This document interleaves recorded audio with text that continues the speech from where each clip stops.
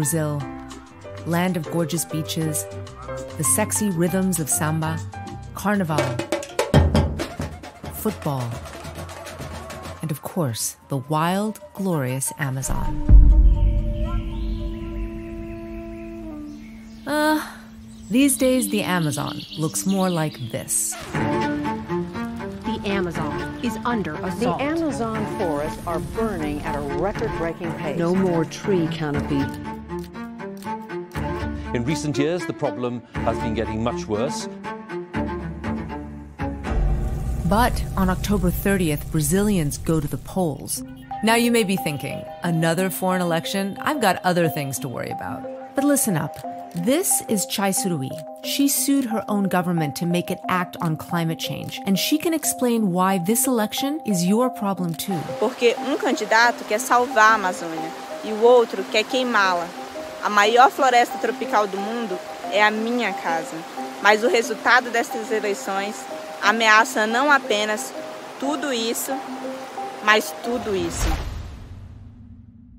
Which means the most important day for planet Earth and your survival is October 30th.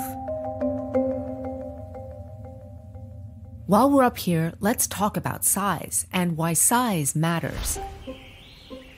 This rainforest is so vast, 10 times the size of France, and the whole thing is on track to becoming a dead zone. And if that doesn't freak you out, then get this.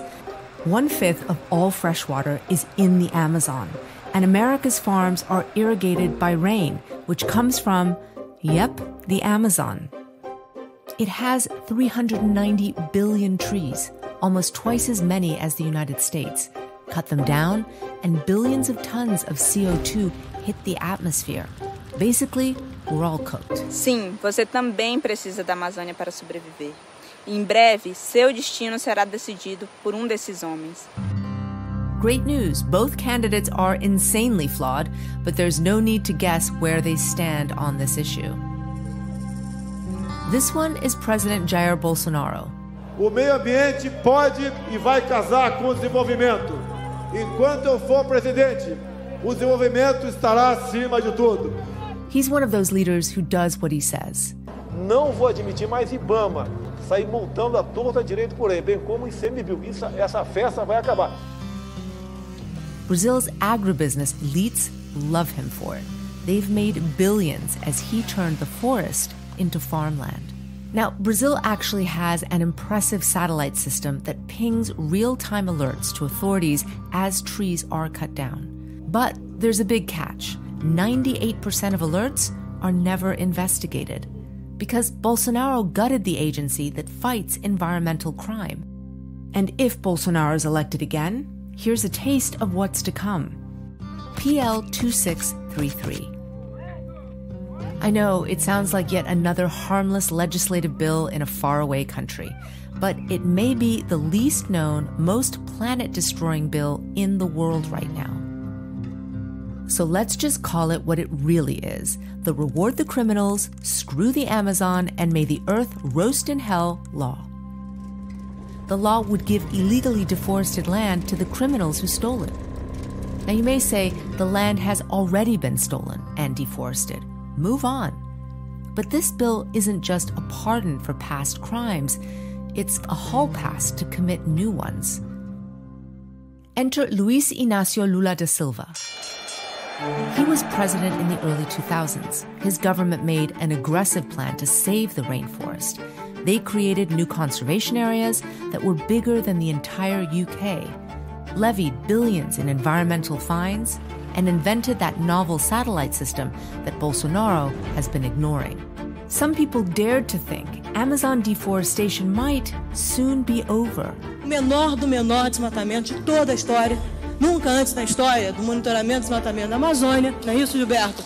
Nós tivemos um número tão fantástico. But were they wrong?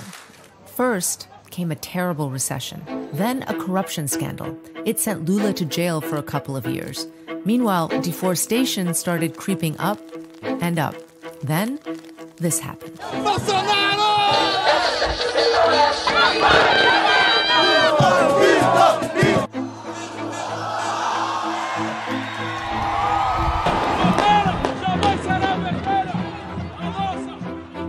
Indigenous lands stolen, activists murdered by criminal loggers and ranchers.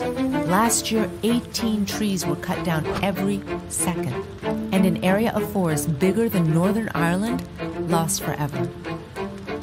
But if Brazilians choose to destroy the basis for life on Earth, isn't it a sovereign country?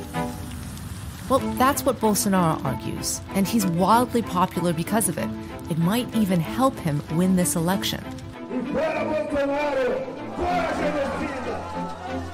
He's ignoring millions of Brazilians who are terrified of his deadly onslaught on the Amazon. The earth is speaking.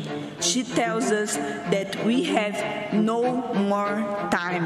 Quando eu denunciei seus crimes na frente dos líderes mundiais, ele me atacou. Levaram uma Índia para lá para atacar o Brasil. Alguém.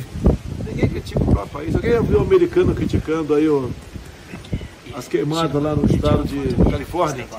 É só aqui, só aqui. Bolsonaro, eu nunca critiquei o Brasil.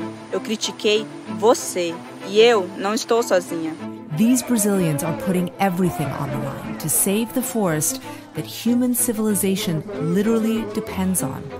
And all of us desperately need a new Brazilian president who won't burn it down.